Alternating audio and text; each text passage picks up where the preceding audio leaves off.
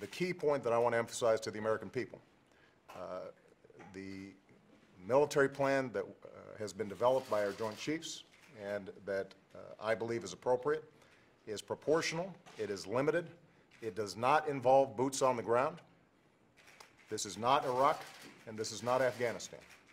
This is a limited, proportional step that will send a clear message not only to the Assad regime, but also to uh, other countries that may be interested in testing some of these international norms, uh, that there are consequences.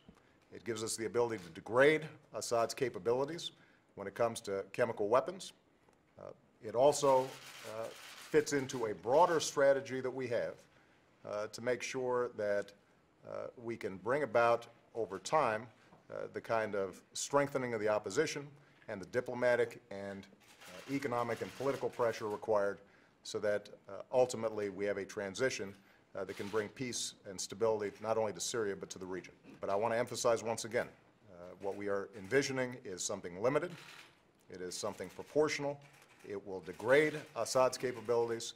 At the same time, we have a broader strategy that will allow us to upgrade the capabilities of the opposition, allow Syria uh, ultimately to uh, free itself from uh, the kinds of terrible civil wars and death and activity that we've been seeing on the ground.